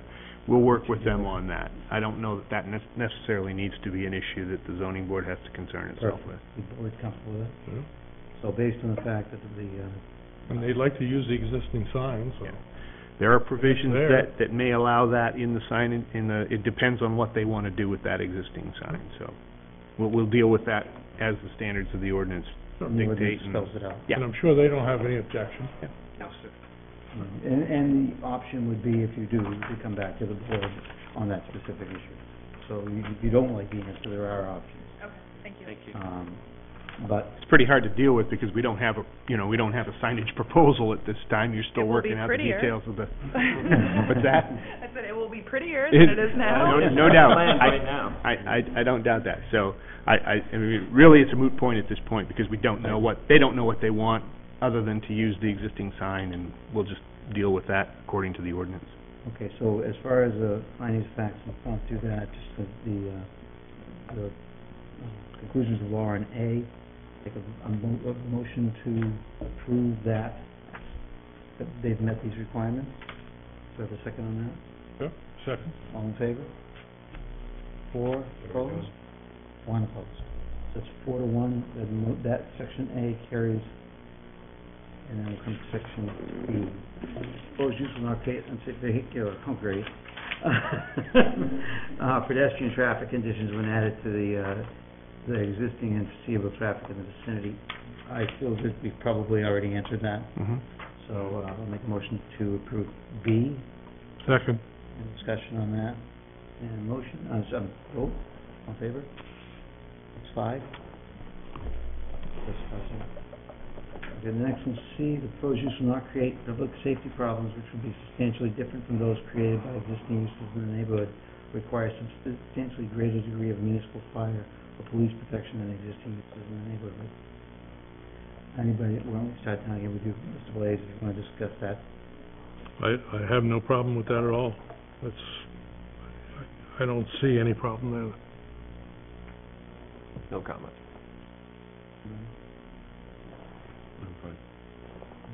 Probably ought to verbalize a little bit of Yeah. a finding and a Yeah, conclusion. What's important about that is to get, just get it on record uh, about that, that you don't see this as an issue, it helps. The reason why that's important is because, again, the, the record needs to have, if we are ever challenged, say for instance, we approve, we declined this, they could go to Superior Court, Superior Court would re- remit it back to us to clarify. So the goal is to not have that happen. Not that we're looking to decline it, but the and that's why we, we try to verbalize it. So, uh, if we, Yeah, then I would say that, um, that will not create any sort of public safety problems or anything of this nature because uh, they already are indicating that they're going to have uh, fenced-in areas to um, keep the dogs from running out in the public or running into the street or potentially running over to a neighbor's property. That they'll be under control and inside of the facility. Right down. Yeah, they're, they're gonna have the barrier up there, so, I mean, I don't foresee police or fire having to go in there and feel anything for dog bites or anything like that, so. And I agree, they, um, they seem like they've done a good job of covering all their, all the bases for keeping the dogs contained, that would be the number one concern of mine, so they've addressed that. Just because it happened recently, uh, I'll ask the question just to get on the table, but it's more, because you're, you're aware that probably recently there was a dog that was killed by another dog in a daycare facility. How, if you don't, one did, um, how do you manage, how do you manage twelve dogs in one person? Uh, twelve dogs is actually a really great number, um, comparatively speaking. Um, you're paired up so dogs can play appropriately together. Uh, I think you have to, um, evaluate the dogs individually before they come in and are socialized. Uh, we have serious substantial expertise in reading dogs' body language, behavior, acclimating them to our facility, making them feel safe and comfortable. Um, and if they don't, then they're not allowed to stay. Um, and primarily, dog altercations, um, primarily, dog altercations can come from a number of different reasons, but mostly it's from uh, dogs not reading each other's language properly. Our staff is being trained every day on how to read that language. I kind of call it a um, canine meteorologist. So you're in that group and you're watching what's going on between these dogs, and you see this dog stiff it up a little bit. You just walk over and say, "Hey, buddy, come over here," and that'll distract the dog enough to lose focus from being concerned. It's a it's a science. This is like a council meeting, Mr. Blaze. Uh, so I, so, I would say it's same, that's fine. That is, I'd, I'd just ask one question, just to get to the fire protection piece. Have you ever had a dog spontaneously combust under your care? no, sir. All right, proposed use and update sedimentation erosion, I have an adverse effect on water supplies. Um, Ms. Blaze, we'll start again down with you. Um, I think they, they pretty much addressed this, uh, as far as I think outdoors, they're gonna have a, a, a grass, an artificial grass, uh, and underneath a, uh, some sort of a, a device to, to capture, uh, sediment and, and waste. Um, it, it looks good to me. I don't, I don't think that there's any, uh, effect on any water supplies. Um, they have indicated the, uh, the method that they're going to be using to remove physical waste and properly dispose of it without having it harm the surrounding environment, um, which is, uh, which makes me comfortable, as well as the existing cistern in place that they indicated will be inspected with their, um, uh, or looked at with their building inspection to just sort of, uh, um, evaluate, uh, its functionality, its life, and, uh, knowing that that's there and that they're gonna take care of it will, uh, also makes me comfortable. Yeah, I would say it's the cistern, just that being in place, knowing that it's running, getting your inspection done, giving you the useful life, and having a proper maintenance plan in place to make sure it's functioning properly and everything. I don't foresee anything. I echo all of that, and I think the weekly pickup's perfect, and the way that the procedure about going about picking it up and double bagging it and putting it into a dumpster, all good.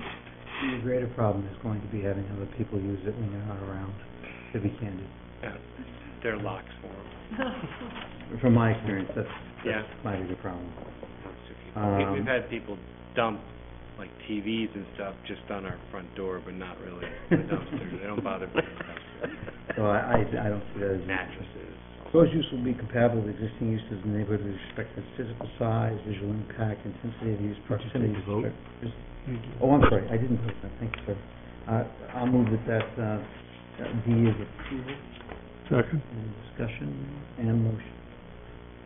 That's unanimous, thank you. Mr. Chair, just before we go any further, you had me down for, because you had started and I didn't realize what you were doing. You had me down for no on A, but I did not Oh, is that, agree with A. oh, I'm sorry, I, I'm sorry, I didn't make that change. Thank you for correcting me. Uh, the proposed use will, uh, be compatible with existing use of the neighborhood with respect to physical size, visual impact, intensity of use, proximity to other structures, and density of development. And displays in there, review again. Uh, I mean, the building is there. Uh, You, you take a look at the overhead, uh, picture of the neighborhood, all the buildings are about the same. Uh, And if anything, I, I think there's gonna be less of an impact than other types of businesses that would be there. I agree, it's a commercial, it's, it's an existing commercial building, already an existing, um, surrounded by existing commercial buildings. Uh, there is, I don't believe there's gonna be any, um, negative or adverse effects to the, um, to the surrounding area, at least what I've been reading and been hearing this evening. Mr. Crockett? No, the, the stru- size and structure of the building pretty much fits in with all the other buildings that are along that strip and even going up Payne Road, it's all pretty much within what this building is doing. I agree, I actually think with that, I think it's actually gonna improve the area, it's gonna give it a kind of a residential feel to it with the fences and the closed-in dog areas, I think it looks nice. Tied, tied to that, Mr. Longstaff has asked a great question, and this is probably the appropriate time to address it. And that would be, we were coming back to the question of landscaping, which uh, earlier Mr. Crockett asked about. Uh, so we want to take that off the table. It's in section, is the fourth paragraph and the fifth paragraph, uh, of the planning board comments. I, I do not have, other than what we've got, a layout of landscaping, which is, a challenge. Uh, do you, uh, I'm gonna look for advice from you, sir. I'm just, I, I think you can turn to their response on that issue in which they, they describe their vision for landscaping. They don't get into detail there, but, um, I think that, I, I guess the, the line of questioning would be, what did you have in mind to add to the landscaping? Obviously, AAA wasn't, wasn't too concerned with landscaping. They were, you know, more mechanically oriented, so have you thought about, you know, taking a view in what you might do with that, besides the fence, the, the- nice-looking fence that you proposed to put up, and Certainly, um, we would like to have a very inviting business. Um, as you can see along the front, the ditch line hasn't been groomed or maintained whatsoever, so we would like to get in there and make sure that's all, um, grassed. And we intend to hire a company to help grow some nice green grass. If you think of dogs at play, you think of green grass, it's, it's part of our feel with our indoor turf, so, um, maintaining the lawn area is gonna be an important part to us. In addition, uh, you can't, you're not really able to see it in that picture, but they're along the left side of the building. Um, you can see some tanks out back. I would like to put some, some bushes or shrubbery in along that side of the building, just again to, uh, give it a more homey feel and less industrial. Um, the Mussey side, as, uh, the picture had showed before with the, um, the fencing that we're looking into, which is the brick fencing, um, I would envision some type of shrubbery in front of that or around that, not to hide the fence entirely, just to ac- accent it, uh, as well as just flowers and just general maintenance, raking and, and just taking care of the property. So we don't have any large, um, uh, plan at this point. It's just general maintenance and upkeep and beautifying the property. So, Longstaff, are you comfortable with managing that, um, without direct direction from either the planning board or the zoning board? Yeah, I, I get the sense, and I wasn't at the meeting, and, and certainly the Klinguses would know better than I do, would, or as Karen would. I think that they were just concerned that the site wouldn't be improved in any way, and, and I think the Klinguses have responded to that with, with some ideas of their vision for what the site could look like, and I think that that would be, um, you, you know, where this is not gonna go for a site plan review, nobody's going to really be looking at this. So I think that they have the freedom to do some, some things they wanna do. I don't know that we necessarily need to get involved beyond determining that they have a vision for some landscaping and that I'm sure as the proceeds will warrant, they, they will do those types of, of things to, in other words, it won't get any worse. That's true. It's pretty, it's pretty bare bones out there right now, so it's a blank canvas. Um, They so are I, planting grass tomorrow. so, you know, I, I think, I, I mean, we can certainly, I can do whatever the board asks me to do, but I don't, I don't know how much involvement, I don't like big government, and I don't know how much involvement we should actually have in, in, you know, dictating their vision for some of the, those landscape improvements that they've just described. I, I think if you look, if you go down Route One here and take a left out of the facility and just go down just by Romeo's and right around that area, I think you'll see what the planning board is kind of looking for with some of those businesses down there.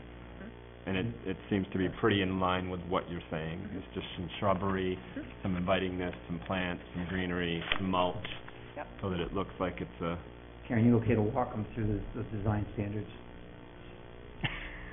We'll deal with that, so, does anybody have any problems with this, okay, so, you've, you've got perfect opportunity. Just go right down that road. You can see what they're looking Sure. for. okay, We'll do so that. we need to take a vote on E. That's actually a good suggestion. We do have d- design standards, and I don't know if, if you folks have seen those, but that's, that's also a good guide for Sure. any improvements.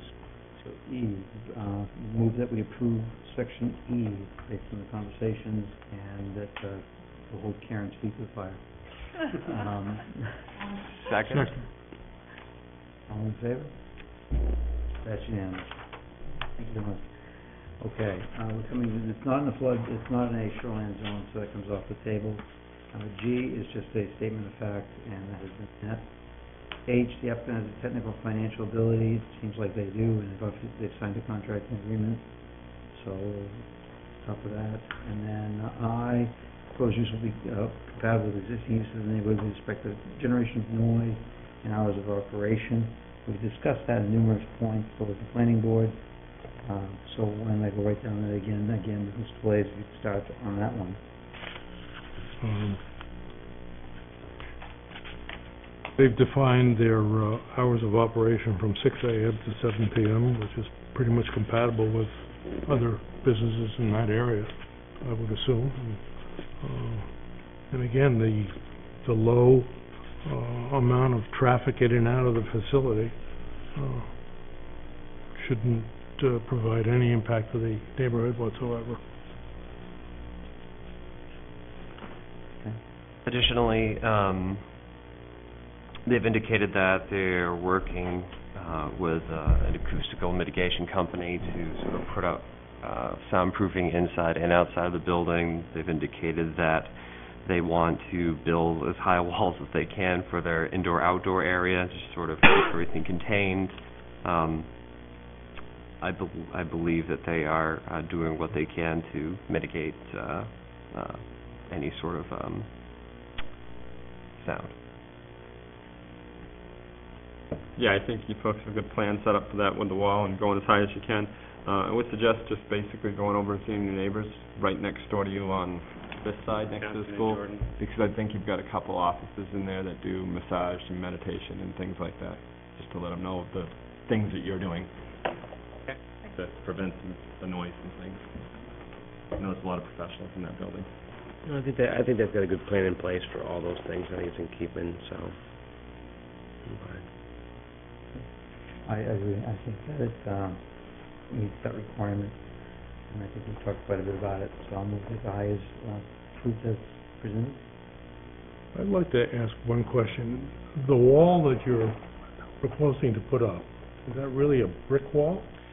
You know, again, we're open for, for options at this point. Um, I definitely would like it to have the look, um, that kind of look, but it, Mr. Longstaff, could you bring up the, uh, front picture, the Payne Road picture of the building? I got a little bit of a hang-up with a solid wall like that, because if you make it relatively high in the summertime, it's gonna be like an oven inside that. Understood. Um, it- we're, we're looking to have height for a couple of reasons. One, we want to have height so you don't have it Right. jumping. Um, but the, the brick part of it is just from a, uh, the, you can, actually can't even see it, but the bottom three or four feet of the building a brick base. Um, So I was trying to go along with the same type of look and feel. Um, there are fence products that have, um, the brick face to it. There are actually Acoustiblok products that have the brick face to it. Um, so There's a lot of different options available to us. We are actually working with um, an architect who specializes in animal care facilities. Um, So I I plan on using his expertise in a lot of this stuff. And you folks have, I, I don't think we ever actually mentioned it, you folks have ample parking down there? For, absolutely. It's more than we have at our South Portland location. Because I see a lot of people parking on the lawn today. There's Uh, Mr. Jetty said that they were maxed out in that facility, that they just didn't have any room to breathe at all. They were parking cars wherever they could fit them, thirty-five cars. We're never gonna have thirty-five people in there at once. Here we got twenty spaces. We got more than that. And you, uh, tied to lighting, are you planning on doing anything different with lighting, uh, using the same that's already there? Have you thought about that? I I think certainly we're going to enhance any lighting that's already there, um, uh, to, uh, it's important, uh, both in the morning, in the winter, in the evening, and, uh, to be able to see the dogs and to, to s- discern between them. Um, there, there's pretty significant outdoor, um, light, security lighting, but we would likely, um, increase that a bit. What I'd suggest, uh, you might be thinking the same thing I am, go ahead. Uh, yeah, no, I was just gonna suggest that again, the design standards for cutoff lighting, we, we try to keep dark sky if we can, and so down lighting is Oh, really yeah. important, and putting the light on, on the subject rather than out into space. Uh, so those kinds of things, I think it also keeps the neighbors happier that they don't have that light pollution coming into their Sure. facilities, so we can certainly work with you in, on that. Um, just, I think it's important just to know what your thoughts are on that, um, in case there's any specialized lighting that, you know, is gonna be like Stalag thirteen. We're gonna put strobe lights out for the dogs. We've got a runner. Little dance out there. Floodlights. Well, in South Portland, we have a, uh, a pole that houses our lighting for both outside yards and cameras, so we would probably do something similar to that. We could do it off the building if that's more feasible, but again, it is all higher down. Uh, we don't want to interfere with the cameras, we definitely want to look at that. I, I think you should work with Sedco and, uh, if everybody's comfortable here, Sedco and, uh, the zone, the, the fo- uh, code enforcement officer, I think that's out of our purview. We just deal with that, is everybody comfortable with So, it? so I think, I think with that, you've hit all of the points that the planning board was curious about. I don't know how much discussion actually happened at the board, but, um, certainly hit them. Yeah, they did, uh, thank you. And so, uh, we have a motion and a second on that item, do I have a, all in favor? And that's unanimous? Okay. So we come back to the question on the approval of initial appeal.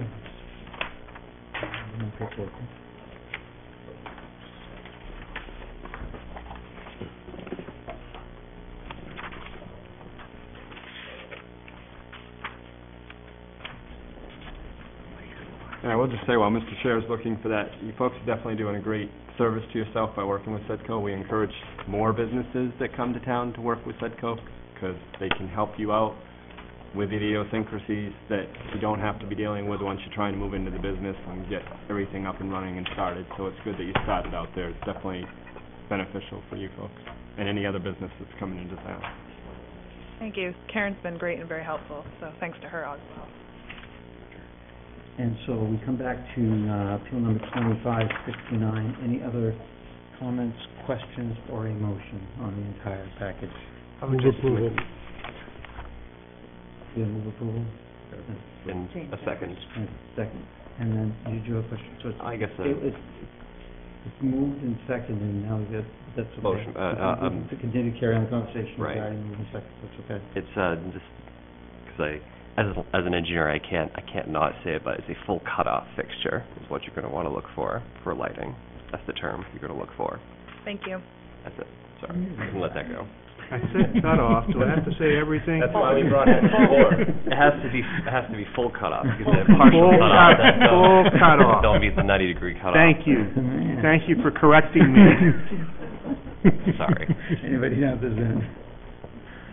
Nothing. God, it's just like being home, isn't it? Okay, so we have a, a motion and a second on the table. Uh, the only bummer for me is that I won't be able to bring my dog there because, uh, she doesn't meet the minimum standards. but, uh... Is it the dog or the owner? A little bit both. So, uh, all in favor? That's not. That's unanimous, thank you very much. Welcome to Scarborough. Thank you, everybody. Thank you very much. And you did it by the book, you did a great job, so, um, Sign thank you. your vote. Yay or nay?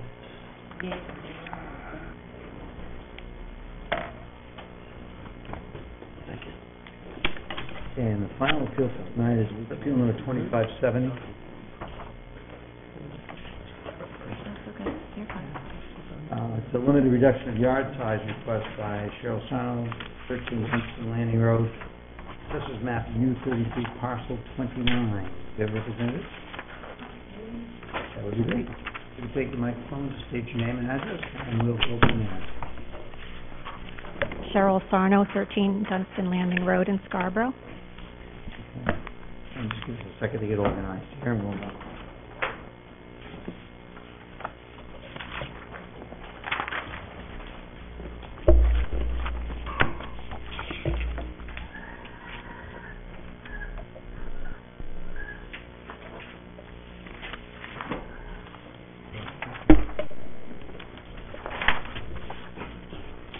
and then the reduction of yard size.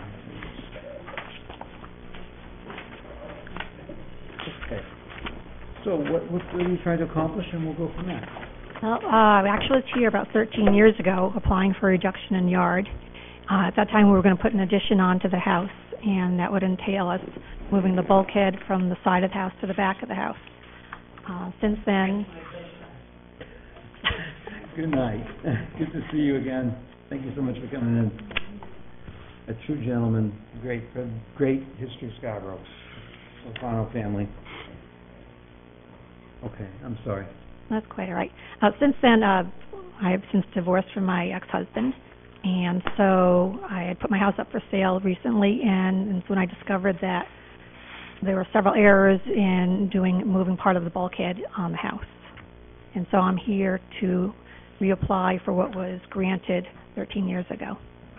Okay, so this, this is an appeal we talked about last meeting, and, uh, We didn't talk about this appeal. We talked about this scenario. this scenario, thank you very much. We talked about Be the very concept. clear about We that. talked about the concept. The concept. Of this, this concept, and it's actually different than what, as we talked about, actually. No, it's exactly the Exactly. same, but you don't listen to me. As you are, I'm gonna tell you, my wife is nice compared to you. So, anyway, we'll come back to this, uh, the issue is that this was done but not recorded at the registry, correct? Right. So my ex-husband had come down to get a building permit. He was granted a building permit, and he came home with the permit and said, "You were all set and ready to go." I've subsequently found out that the town uh, was not aware they had issued a building permit, nor did they have it logged, nor did my ex-husband take care of it with the registry. It leaves me in a quandary. Technically, we're looking at an after the fact, but I'm not so sure we are. And that's kind of, I think we've got to decide as a board how we attack this, because, um, it's very clear about the after the fact on limited reduction yard sizing. And I, I have one opinion from the, the, the generalized conversation of last month, but reading, um, uh, the comments from the code enforcement officer, I feel a little bit different about it as, as I read it and as I, as I've thought about it over the month. Um, so, I want to open up to the board for just a dialogue for a second. If we look at the, uh, limited reduction of yard size, uh, nineteen ninety-one, it was done, uh, existed before ninety-one. Requested reduction is reasonably necessary due to the physical features, the impacts and effects, the applicant has not commenced. So here's number five is what gets us. The applicant has not commenced construction of the enlargement, expansion, building or structure for which the limited reduction in yard size is requested so that the board is not look- considering an after-the-fact application. Now, in my opinion, that's the key word. I'm gonna use, a- I'm gonna, I'm gonna use, uh, What's my favorite judge's name? Just tell you. Uh, what that? No, the, uh, no, Wapner. No. I'll it. Um, anyways, I, I, I want to, I think we should be taking this word literally and the statement literally. Uh, and I think it takes some pressure off from the answer. Because really, we have two choices. One is to approve it, the other is to decline it, where it'll then go back to the town, where the town will either require, uh, a fine or a fee, or make it be removed, it'll be the town's call on that. I don't see any malicious intent here. It's obvious an error, but that doesn't justify it just overriding the rule. So, again, listen to number five, and, and see if you buy my argument. The applicant has not commenced construction of the enlargement, expansion, building, or structure for which the limited reduction in yard size is requested, so that the Board of Appeals is not considering an after-the-fact application. The application was submitted and approved. The completion of the sign-off and the re- recording it was not. But the issue of the application was not. Nothing had happened prior to the application. So in my opinion, we can sincerely justify number five, and one, two, three, and four are pretty straightforward. So if the board buys that argument, I think we can move this fairly quickly. If you disagree, please share that, and we'll take on uh, a a disagreement on that, and I'd love your view on that too, Mr. I'm not what the board says. No, I, yeah, I agree with that too. The wording is, is where it, sh- the application has been made, so it is not an after the fact. Construction has commenced after the fact, it's, it's, it's, application's made, so I think it's, it's, it's okay. I think that's okay, that we approve that and that it meets criteria of that. The problem we get to is the applicant does have a burden after that to make sure it's recorded. That's correct. That's the burden that we have on And it. that's what drives us back, that's what forced us to come back here. Um, but nothing is going to happen other than a recording. Because the, the application has been done, the work has been done. So I'm arguing a, a legal style, that that word means exactly what it means. And after the fact application, they applied, they had not previously done the work, they missed a step, and this is a correction of a miss, as opposed to any reason that, and again, I go back up to you, and I spent a lot of time trying to, to to rationalize this, because to be candid with you, I did not want this to come, this concept to come before. I didn't know what it was gonna be, but we talked about it, and he said, what do you guys think about this, and I was dead against it. So, uh, because I honestly felt there was no out for us, so just so you knew where I stood on it. So I tried to take some time on this and, and get my arms around it. And if you look at, uh, the other comment, there's another piece in here that I think allows us, uh, the, the issue. Um, and it's the, uh, has not commenced construction of the enlargement or expansion building structure which the limited reduction of yard size is requested. So, they're coming here not requesting anything be done. They're only clarifying an error that was made, a paper error that was made. And it's not after the fact, it's not, the question would be, did they get caught doing something? The- reason, in my understanding of, of number five, is they got caught, and now they're trying to get, get a sign off. A- And that is not what happened here.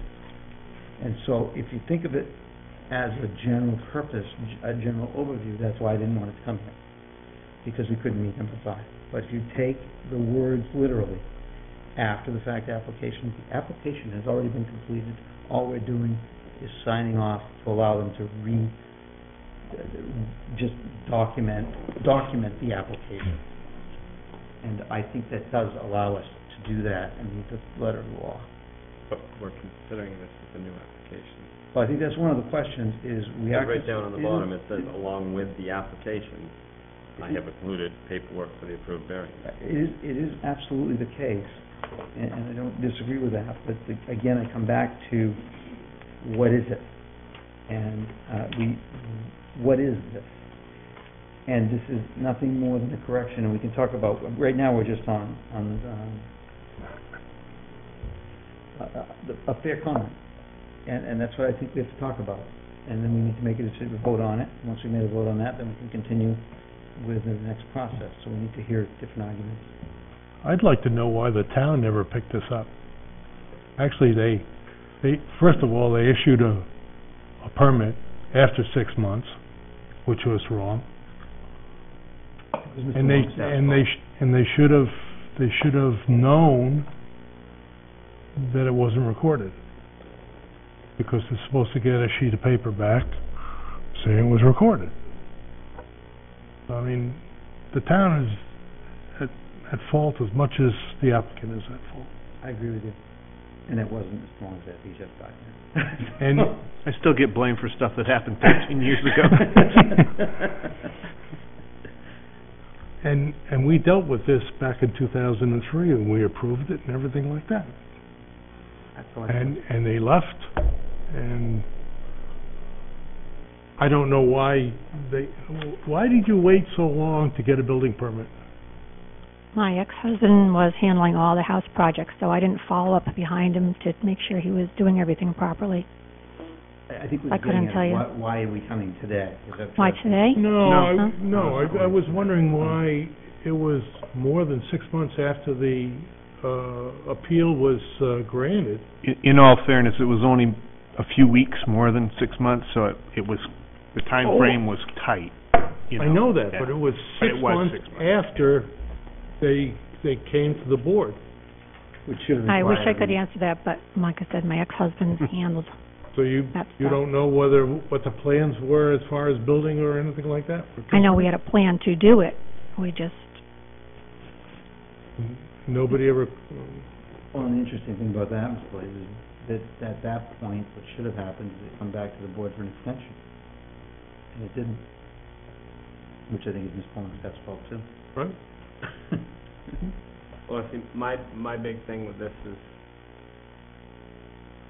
I think we're setting ourselves up with this one, hearing it, because everything was done, something slipped through the channels, and now we're coming back and we're trying to fix it. But I, I don't know if this should even be really before us. I don't know if this should just be a town fix with, with the errors that were made. I don't know. You can't, I think I tried to explain this before. Yeah, you did. There is no other, the only reason it's here is you've got two ways to go, a non-action letter or this. The town's attorney has already said, those are the two options. There is no administrative fix at the town level, so I don't want to hear any more about But the that. non-action letter was, The non-action letter is one of those options. That's not what I call an administrative fix. That's a non-action letter. It's, it's not like we can just sign off on the variance and say, yeah, go take it back to the registry, it's good to go. We don't have that option. That would be great if we did, because that would be the perfect thing to do here. Why, But we, we don't, we can't do that. why can't it be registered now? Because the night, it, it has to be recorded within ninety days of the date of issue of the variance. Otherwise, the variance expires. The variance is, is void. So technically, the variance was void ninety days after it was approved in April, or whatever it was of two thousand three. It was, it was voided. If it had been recorded, we should have received that notice of rec- of, of recording. That would have gone in the file, and then when they came in, and in- by rights, they have six months to apply for their building permit. They could have come in, you know, before six months. We would have looked and seen that it was recorded. Since it wasn't, we should have looked and seen that it wasn't recorded, at which time Mr. Maroon's exactly right. We would have, today, I would have in- uh, uh, made them aware that they need to go back to the board and have a new variance issued before any construction began. That didn't happen. A permit was issued in error. They relied on that permit. They constructed part of the project. At that point, they didn't go any further, but they did the first piece, which was to move the, the bulkhead so that the addition could be built. The addition was never built, but the bulkhead was moved. And, and the variance had expired and was voided. But they didn't know that, We didn't catch it, so they relied on a building permit, which was issued in good faith and, and, and applied for in good faith.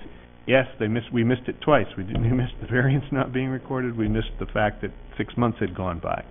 Either one of those things could have been corrected at that point. Was, was the bulkhead moved prior to the building permit being? No, no, no. The Okay. bulkhead was, was moved as part of the, the building permit that was applied for. Okay. I, I- I don't know why six months expired before they decided to go. I don't know that that's relevant in this case. Yep. The relevant facts are, a building permit was issued, shouldn't have been. Um, the variance was issued but not recorded, should have been. Uh, They so didn't mistakes move were the made. bulk- They didn't move the bulkhead until after they received They came in the and building permit. To, to the best of my knowledge, to the best of my knowledge, and I wasn't there, despite what Mr. Maroon says, wasn't my fault, I wasn't there, but to the best of my knowledge, they applied for the building permit, then they moved the bulkhead. So, so there was no after-the-fact issue going on. Mr. Crockett's concern is legitimate, yes, it, it may set a precedent, but I don't look at it the same as somebody building something without a permit and then coming, that's a true after the fact. You did it, you didn't get a permit, you, you didn't even ask, you built it, now you're coming back because you want to sell your house and you gotta correct all these issues. That's where the non-action letter or a notice of violation and order for correction are the two appropriate things. I would never bring that to the board. That can't be heard. That you cannot issue a variance for something that was never permitted in the first place. We permitted this erroneously, but we permitted this. No, we didn't do it, we didn't permit it erroneously. Yeah, we did. No, well, it passed, it passed the zoning board of appeals, right? Right.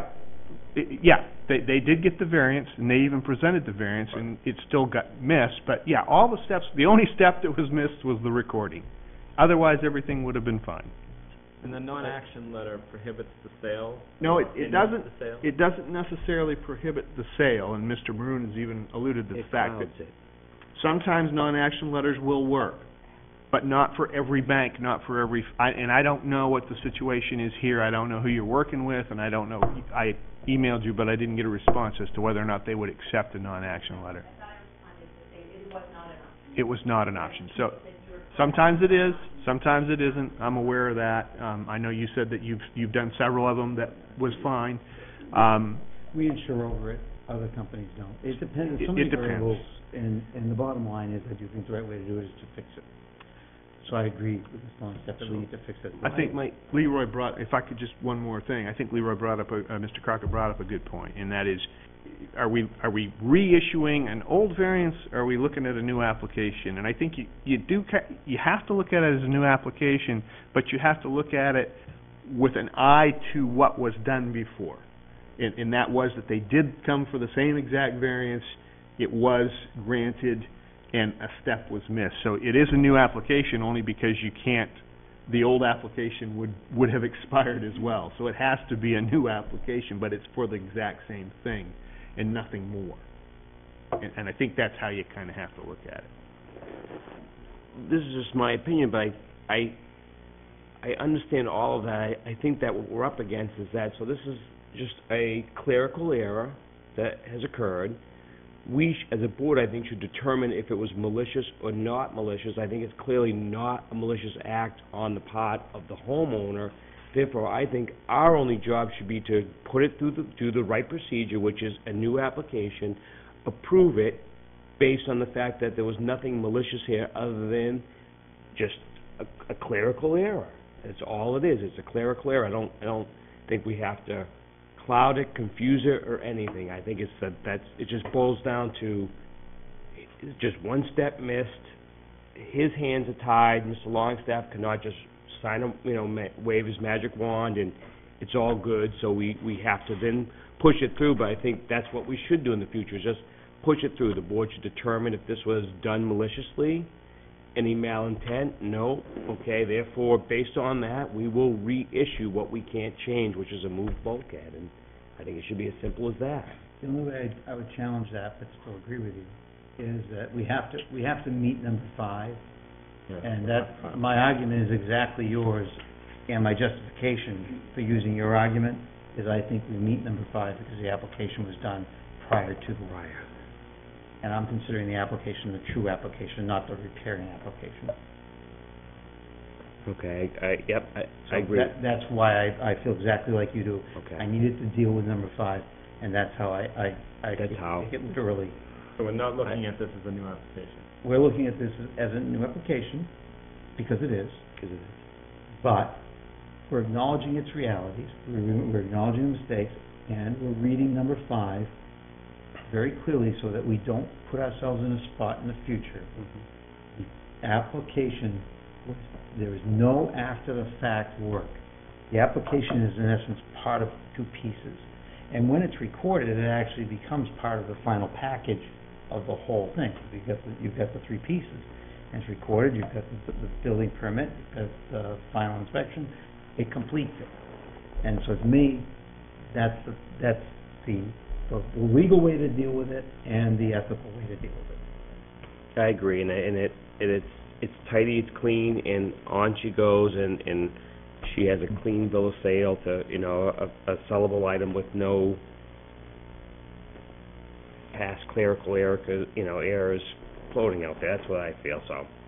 My, my strong opinion on this would be we just need to be very careful how we word it, if we do choose to do that, because we don't want things coming back on a random basis and people trying to challenge it and say, well, you put this through, You're right. you should put mine through. I think we need to go above and beyond to make whatever verbiage we're putting in there be enough, so if someone ever tried to challenge it And again. just tying all of our conversation Uh, and. I would, I would offer that the, the discussion captured in the minutes is, is what you're looking for. These are the The, findings the of fact. decision isn't gonna be any different if you approve it. It's, it, it is for what it is, but it's the discussion surrounding the approval that sets the basis and, and the body of evidence that the applicant has presented. The original appeal approval, the original permit that was applied for, the application, the actual permit card that was granted, everything is there, the dates. So, I mean, the body of evidence is clear, how this tracked. Whereas somebody else might come for a, a similar thing, and perhaps they never applied for the, the permit, you know, they never applied for a permit, or they, you know, the, the facts can be completely different. So I think you have to look at the body of, of evidence in the application, in the appeal, and then your discussion surrounding why you feel the way you deal, do on those items. Is there any other type of appeal that this could be handled under, like an administrative appeal, or?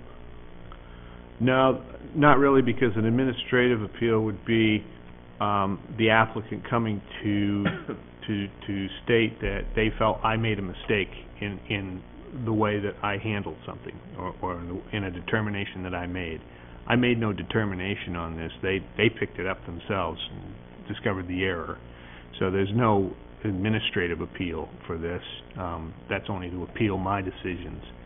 Um, some towns will also appeal, use the administrative appeal to, to, um, do an interpretation of some vague item in the ordinance that nobody quite understands, so the code officer nor the applicant understand what it means, what the intent was, so they'll bring it to the board, and the mm-hmm. board would make a determination, what is that trying to say?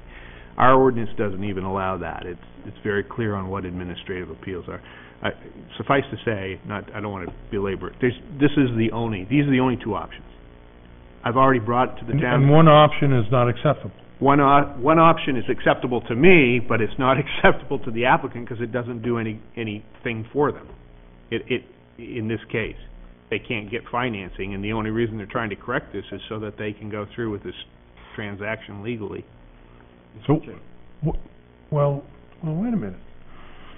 What does the bank need from you people? Yeah, that's what I was gonna say. Name Give us Have a them name and address. So they're on the record. Yes, I'm Jody Nutting, I'm Scarborough resident, I'm also a broker with the Re- Real Estate Network for Cheryl. Um, so the buyers who are purchasing her property, their lender, they won't get, um, they're not, they're, they won't be able to have a clean title, and they, therefore, they won't insure, they won't be able to continue on with the purchase of the property. So they won't, um, get clear or approval from the lender, the local lender that they're using, to um, be able to purchase the property with this cloud on the title. This is, um, you know, the variance being an issue. Well, what will they accept? Oh, only a clean title, only uh, this being completely cleared up. They won't accept a letter of non Yeah, but how, how do they want to clear it cleared up? They want it cleared up that it's, there's no longer a cloud on title, that it's registered, that it's in, you know, it's, it's been registered in the, in the registry of deeds, or, uh, you know, the registry, and, um, that it's no longer an issue. They, it affects the marketability long-term for anybody who's purchasing the property, because they, next time, if a letter of consent works for them, it may not work for the next set of buyers that may purchase their property. And so it affects the pool of buyers that they'll potentially be able to buy, that will buy for their, buy that property. So they're looking for, A clean title, no issues. well, clean title. We're, we're not involved in titles. Well, the variant, I mean, this, i- this issue is So if certainly we, impedes if we the grant a title. variance, Yes, the same way that we granted a variance before, exactly. except we make some sort of a statement about after the fact, Right, it- when it's recorded, all will happen is it'll just be recorded, and then once it's recorded, it'll be considered part of the record. As part of the record, they'll clean the title. The other option is, that I know of, is, the only other option, is if the previous owner had uh, owner's title insurance. Most companies will insure over that, so they actually acknowledge that they're on the hook for it. They acknowledge that the town's not gonna- do anything. But, and there are some lenders that won't do that. It's just, it, it's, it's standard practice, but there are lenders that won't do it. And I don't know whether or not there was title insurance on the property, There if is, it wasn't. there is title insurance. However, time's kind of of of the essence at this point. It was brought was brought to our attention once the, the survey was being done for the buyer. And immediately, when Cheryl learned of this, immediately that afternoon at noon, I learned it at eleven, she immediately came to town, city hall to try to rectify and figure out what, you know, what is needed to be done. This, I believe, was probably February twenty-sixth, maybe, sometime around that, that, that date.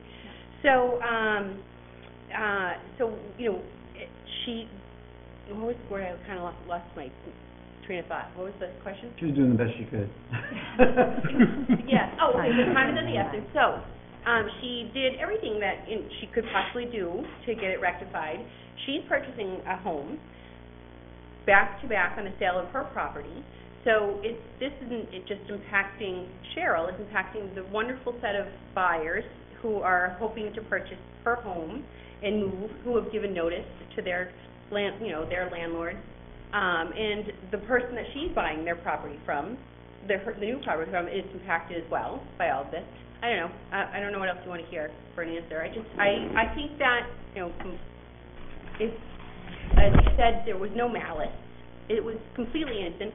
The city of, or the town of Scarborough has fifty percent responsibility, in my opinion, because they didn't do clerically what they were supposed to do. So, it would be unfortunate for poor Cheryl to be, you know, the one that loses out because it's not approved. And it wasn't just her, so. I think, Mr. Chair, I think the, the, the point earlier, and I agree with Mr. Crockett and with Mr. Richard regarding that we need to acknowledge the uniqueness of the situation and make it clear in the minutes, as we are with this discussion right now, um, that there was, my interpretation, that there was no uh, malicious intent with this, that indeed it was a clerical error. Um, I agree with your interpretation for this one uh, unique instance that we must acknowledge uh, for the record and uh, move forward. Any other discussion? So why don't we go through the requirements of, so we're at this point establishing that we are going to hear this as a limited reduction of yard size. Anybody disagree with that? Okay. Uh, the existing buildings or structures on the lot which were limited reduction of yard size is requested to be erected prior to July third, nineteen ninety-one, and the lot is a vacant lot, non-conforming lot of record. This is a non-conforming lot of record. Uh, I don't know when it was built, but it meets the non-conforming requirements because it doesn't conform. But when, do you know when it was built? Uh, eighteen fifty, I believe. Eighteen fifty, probably pretty close nineteen ninety-one. So, uh, I think that's pretty straightforward. The requested reduction is reasonably necessary to permit the owner or the occupant of the property to use and enjoy the property in essentially the same manner as other similar properties are utilized in this district. And Mr. Crockett, if you wouldn't mind, I think you're probably the best to clarify, I think this is a good place to put the, the, the, your logic in as part of the record, if you're comfortable with that, uh, about you need to, this is a s- one-time incident, Uh, you worded it perfectly, Well, I, I think Mr. Richards actually either way. worded it better than I did as far as the verbiage that we need to put in there for it wasn't malicious or comfortable just taking it from there. So we'll just take the, if you're comfortable, Mr. Richard, we'll just take that information from the find, the findings of fact that were earlier mentioned. Okay? Yeah. Everybody comfortable with that? Yeah, as long as we're completely clear with that, so it doesn't pop up again on us. And due to the physical features of the lot or the location of existing structures on the lot, it would not be practical to construct a proposed expansion, enlargement, or new structure in conformance with the currently applicable yard size requirements. It would mean removing the bulkhead and putting it back, which seems, um, what's the word to use? Practical. It just doesn't seem practical for something as minor as a mistake. Actually, I would say the town's two-thirds responsible because they also went over the thirty, the days. So, uh, I say that goes on the record. Uh, is anybody comfortable with that? The impact, the effects of the enlargement, expansion, or new building or structure on the existing uses of the neighborhood will not be substantially different from or greater than the input, impacts and effects of the building or structure which conforms to the yard size requirement. And I don't see any effects whatsoever, at least in the last eight years or whatever it was done. Does anybody disagree with that? Okay. And the applicant has not commenced construction, and again, I- I'll I'll reiterate this. The applicant has not commenced construction of the enlargement, expansion, building, or structure for which the limited reduction in yard size is requested. And my part to that is, this request has nothing to do with doing anything. It's re- repairing a clerical error. And so it's not, even though normally we would interpret number five as doing something, and then this would be coming back to us because somebody got caught and now has to correct their error and trying to, oops, sorry, uh, you know, it's a lot easier to say I'm sorry than just to get the approval attitude. That's not the case here, and that, that part clears that up. And then it goes on to read, so that the Board of Appeals is not considering an after-the-fact application. We are not, this is not an application for moving a bulkhead. This is an application to repair a mistake regarding documentation of an application moving a bulkhead. Thus, it meets number five, uh, from a legal perspective. And that, that's my position on that. Did we put anything on that based upon the prior approval or? And I think that's exactly correct. It's based on the prior approval. And- And again, uh, just to reiterate, and, and again, it's not part of the findings of fact, and I'll, I'll tie it into the conclusions of law as this is the issue. We are not considering an after-the-fact application, because in fact, an application was completed, it was done, the work was then done. This reflects not the work, but rather the repair of the application. So the work had already taken place per the requirement of the initial application.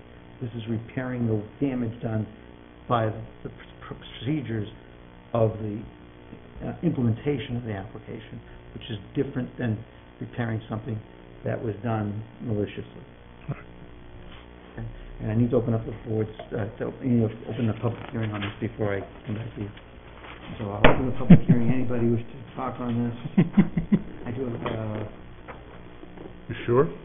letter, um, this is, uh, inquiry, uh, hi Brian, upon, uh, recommendation, uh, in your return phone call to me, I am emailing our question to you regarding the zoning board of appeals, bill number twenty-five seventy.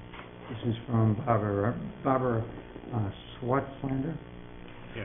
And these are the following questions that she and Sheldon Kale, uh, Kay, uh, of forty Orchard, Orchard Street have.